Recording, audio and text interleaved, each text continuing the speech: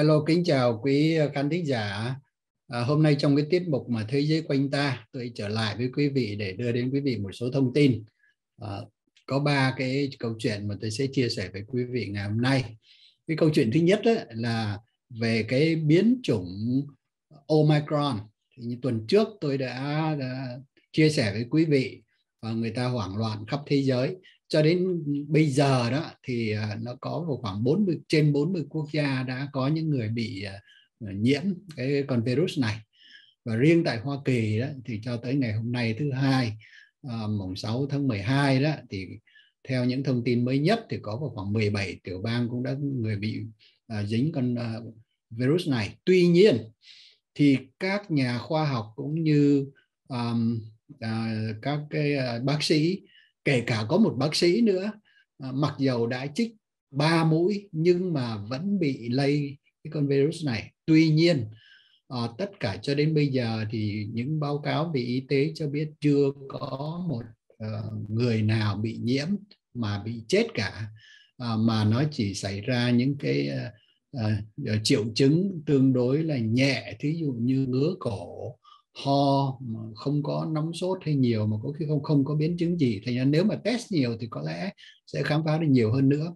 Do đó mà um, người ta không có uh, người ta không có lo ngại lắm và người ta cũng đang chờ đợi có lẽ trong một hai tuần nữa mới có thể biết rõ được uh, là cái con virus này nó nguy hiểm như thế nào.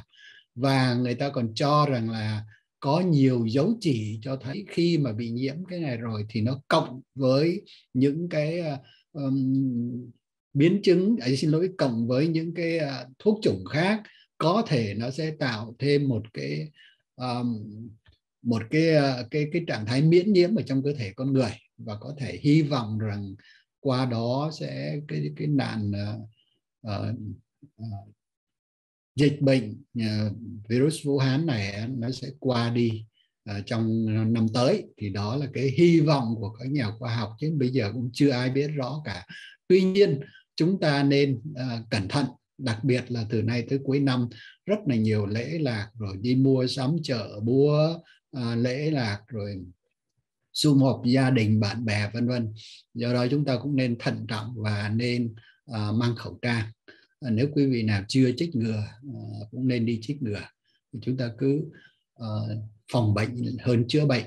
Đó là cái câu chuyện đầu tiên tôi muốn chia sẻ với quý vị. Chúng ta đừng sợ bởi vì cho đến bây giờ rõ ràng là nó không có nghiêm trọng như là cái con virus delta. Cái câu chuyện thứ hai nó xảy ra và tôi xin chia sẻ với quý thính giả à, ở California đó là như quý vị ờ, tuần trước tôi có chia sẻ cái thông tin về cái chuyện mà cướp các cửa hàng cao cấp ở trên vùng San Francisco rồi ờ, có vào khoảng 80 người đi trong 25 chiếc xe đã vào dọn sạch ờ, cả những cái hàng hóa ở một số cửa chợ đặc biệt là cái chợ Nordstrom và ngay cả cướp bóc xảy ra ở vùng Los Angeles tuần trước. Thì uh, cuối tuần vừa rồi có một cái chuyện mà tôi muốn thông báo với quý vị là uh, theo như ờ, công tố viên của quận hạt lớn nhất là quận hạt Los Angeles ờ, thì cái vị công tố viên đó nói rằng là đã bắt được 14 người đi cướp bóc. Nhưng mà bắt rồi thì thả ra và chỉ còn giữ lại một tức là bắt được 14 người trong số rất nhiều người đi tham gia vào những cái vụ cướp bóc như vậy những cái tổ chức cướp bóc như vậy nhưng mà 13 người thả ra không cần có tiền thế chân tức là Nobel. Thì đây là một cái điều hết sức là lạ lùng là vì California như lần trước tôi đã thưa với quý vị tôi không hiểu rõ về luật lệ nhưng mà rõ ràng là có một cái luật là nếu như một người mà vào cửa tiệm mà ăn cắp uh, dưới 900 đô la dưới 950 đô la thì chỉ bị phạt vạ chứ không bị truy tố ra tòa. Mà chúng ta biết rằng cái chuyện mà đi mà ăn cắp đó, tức là lấy của người khác đó, thì đó là một cái tội rồi. Nhưng mà bây giờ thì lại không có bị truy tố mà chỉ phạt vạ tôi không biết như thế nào. Và bây giờ à, trong cái số 13 người xảy ra thì không biết rõ những cái người đó mang tiền án như thế nào. Có thể là những người đó đã có từng tiền án hay là do những cái người mà đã có án ở trong tù thả ra. Thì nếu mà một hành động ở Los Angeles như vậy và tiểu bang này để như vậy thì trong những ngày tháng sắp tới nhất là cái mùa uh, lễ lạc và đi mua sắm này thì có những uh, cái vụ mà cướp bóc nó sẽ xảy ra. Nó sẽ khuyến khích người ta đi những cái kẻ gian như vậy tiếp tục làm những công việc cướp bóc khác và rồi chỉ bị bắt xong rồi lại thả ra. Đó, thì cái chuyện này nó hết sức nguy hiểm cho uh, chúng ta. Vì vậy mà tôi nghĩ rằng đây là một cái thông tin mà uh, chúng ta phải quan tâm. Và tôi nghĩ rằng phải có những cái ý kiến chúng ta phải uh, đưa những cái uh, quan tâm của chúng ta cho những vị dân cử dân cử tại thành phố dân cử tại quận hạt và những vị dân cử lên cấp tiểu bang để xem cái việc này nó như thế nào. Nếu không nữa thì tiểu bang California của chúng ta là một tiểu bang uh, rất là đông dân và đặc biệt là người Việt Nam sống ở đây rất đông. Chúng ta cũng nên quan trọng và có tiếng nói của mình để uh, giải quyết cái chuyện mà trộm cắp như thế này. Nếu không thì rõ ràng đối với hành động này là khuyến khích ờ, trộm cắp rồi. Đó là một thông tin mà chúng tôi đưa đến quý vị để chúng ta cùng cùng nhau suy nghĩ chuyện này. Cái câu chuyện thứ ba mà tôi muốn thưa với quý vị hôm nay liên quan tới hai người đẹp của Việt Nam. À, tuần trước quý vị nào theo dõi tin tức đó thì có nghe tới một uh, cô hoa hậu Việt Nam tên là Đỗ Thị Hà.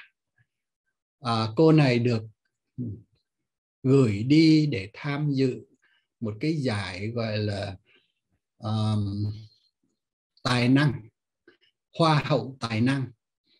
Thì cô Đỗ Thị Hà này đã đến uh, cái hải đảo của Hoa Kỳ một cái hải đảo lớn. Ờ, nó là, thuộc lãnh thổ Hoa Kỳ là Puerto Rico. Nằm ở phía đông uh, của nước Mỹ.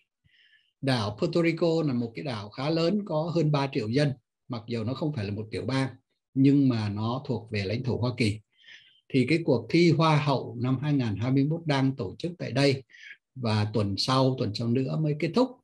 Thì trong cái cái cuộc thi sơ khởi thì cô Đỗ Thị Hà đã tham dự và đã được lọt vào ở cái vòng trong tức là có được lọt vào trong số 27 người. Thì trong ấy cô Đỗ Thị Hà đã biểu diễn uh, một cái uh, nhạc cụ của đồng bào thượng đồng bào ở, ở vùng Tây Nguyên thì đúng hơn. Cái nhạc cụ có tên là trưng. Ờ, cái nhạc cụ này đó thì nó là ghép bằng những cái mảnh tre những cái ống tre. Ờ, và cô ta đã biểu diễn rất là hay nhuần nhuyễn. Nhưng mà đến khi hỏi ban giám khảo họ nghe thứ nhất là thấy cái nhạc cụ nó cũng lạ mắt thứ hai nữa là cái âm âm âm điệu nó cũng khá lạ. Thì người ta hỏi tên bản nhạc. Thì cô này mới nói rằng đây là một cái bản nhạc có tên là cô gái vót trông cô ấy còn giải thích rõ ý nghĩa khi ban giám khảo hỏi thế nội dung là gì và ý nghĩa nó là gì. Thì cô ấy đã giải nghĩa cho ban giám khảo rằng đây là một cái bài hát diễn tả à, những cô gái ở vùng thượng du làm trông vót trông lấy tre để mà vót thành những cái trông nhọn để mà diệt Mỹ diệt giặc Mỹ uh, cọp beo giặc Mỹ. À, à, tức là một cái một, một cái uh, giai đoạn chiến tranh mà đã xảy ra cách đây uh, 50 năm. 50 năm gần gần 50 năm trên 50 năm và nó đã kết thúc cách đây 46 năm khi, khi mà cô trả lời như vậy thì những khán giả rất là sửng sốt và cái video này đã được đưa lên. Và nó đã gây phản cảm cho những người theo dõi. Bởi vì đang trên đất Mỹ đến lãnh thổ Mỹ để mà thi đợi tài năng lại đưa một cái bản nhạc chống Mỹ chửi cha Mỹ thì đó là một cái điều rất là kỳ quặc trong khi ấy, nhà nước cộng sản Việt Nam đang ngửa tay xin Mỹ và Mỹ đã hào phóng để tặng cho Việt Nam hơn 20 triệu liều thuốc chủng ngừa virus Vũ Hán. Chẳng những vậy, còn bao nhiêu những cái hỗ trợ khác trong suốt hơn 25 năm qua. Đó là một cái điều rất đáng buồn và cô này chắc chắn là là một cái nạn nhân là một cái người trẻ được nhồi sọ được dạy dỗ được chuẩn bị để mà trình diễn một cái bài chửi mỹ như vậy. Thì câu chuyện nó cũng đang rất là sôi động ở trên uh, trong dư luận của người Việt đặc biệt là tại Hoa Kỳ cũng như ở Việt Nam bên khen bên chống bên chê bên bênh. Thì uh, hôm thứ bảy vừa rồi uh, một người đẹp khác uh, cô là Nguyễn Nguyễn Phúc Thùy Liên. Xin, xin lỗi. Nguyễn Phúc uh, Thùy Tiên. Cô Nguyễn Phúc Thùy Tiên. Cô này uh, năm nay 23 tuổi và là sinh viên về tiếng tiếng Pháp và tiếng Anh. Cô đã đi tham dự một cái giải uh, về hòa bình uh, gọi là người hoa hậu hòa bình ở bên Thái Lan.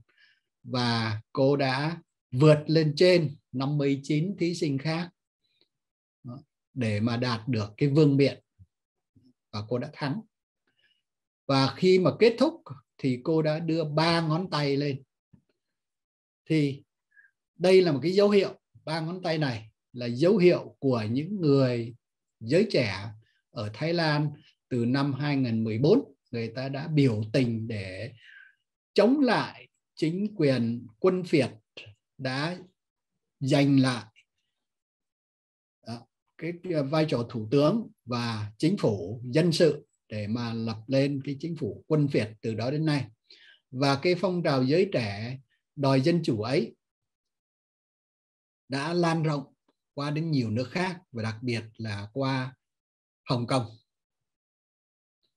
thì cô Thủy Tiên này được hỏi và cô đã trả lời rất là lưu loát, bởi vì ờ, với cái tư tư cách là một người hoa hậu ờ, hòa bình, thì cô đã nói là chúng ta phải ờ, cùng nhau xây dựng hòa bình làm cho chỗ sống của chúng ta thế giới của chúng ta trở nên hòa bình, đáng sống vân vân và vân vân. Một cái câu trả lời rất là khéo và sự đối đáp rất là nhuần nhuyễn à, và cô đã nói um, bằng tiếng Thái nữa. Đó là một cái ờ, cái cái sự can đảm của cô. Vì vậy cái video ấy đã được lập tức truyền đi khắp nơi. Nhưng mà khi về đến Việt Nam thì nó bị ngăn chặn hết. Bị ngăn chặn hết. Thì chúng ta biết rằng là hiện tại ờ, năm ngoái cũng cái người đạt được cái vương miện ấy là một cô gái người uh, Miến Điện. Thì cô gái Miến Điện ấy tất nhiên là đã gặp khó khăn bởi vì ở Miến Điện từ đầu tháng 2 vừa rồi thì có cuộc đảo chính quân sự. Và như chúng ta biết bản tin ngày hôm nay đó thì bà Aung San Suu Kyi ngày hôm nay đã bị kết án 4 năm tù và còn nhiều tội danh khác họ chụp lên cho bà ta nữa và nếu theo đúng cái ờ, những cái bản án họ chụp lên cho bà Aung San Suu Kyi thì bà sẽ phải ngồi tù đến 100 năm vân vân vân vân. Thì đây là cái ờ, cái thông điệp mà cô ờ, uh, Thủy Tiên này đã nói đến. Uh, bởi vì cô cái phong trào người trẻ uh, và những người đang chống lại cái uh, chế độ quân phiệt ở Thái Lan cũng như ở Miến Điện uh, đã rất là uh, ủng hộ đặc biệt là giới trẻ đã rất là hoan nghênh và uh, chúc mừng cô Thủy Tiên và cho rằng cái cái cái sự um, uh, thái độ của cô cũng như cái cử chỉ và đưa lên ba cái ngón tay tức là cái biểu tượng của những người trẻ Thái Lan ấy đã gửi đi một cái thông điệp rất là mạnh mẽ ủng hộ cho việc đấu tranh hòa bình mà những người trẻ ở Miến Điện cũng như ở Thái Lan người ta đang tranh đấu tuy nhiên, nhà cộng sản việt nam rất là khó chịu và ngăn cấm những cái đó. Nhưng mà đối với chúng ta, hải ngoại này thì rất là vui khi thấy một cái người rất đẹp ờ, tài năng mà đã có những cái ờ, hành xử rất là ờ, can đảm cho chúng ta thấy rằng là có sự suy nghĩ, có sự cân đo chính chính đáng. Do đó tôi rất là khâm phục tài năng của cô hoa hậu thủy tiên này. Ờ, nếu mà quý vị có vào internet thì đánh chữ uh, Nguyễn Phúc Thủy Tiên chúng ta sẽ tìm thấy những cái hình ảnh và cái câu chuyện về cô này. Đó là cái bản tin mà tôi muốn chia sẻ với quý vị ngày hôm nay. À, mong cảm ơn quý vị à, mong hẹn gặp lại quý vị trong bản tin lần tới. Trân trọng kính chào.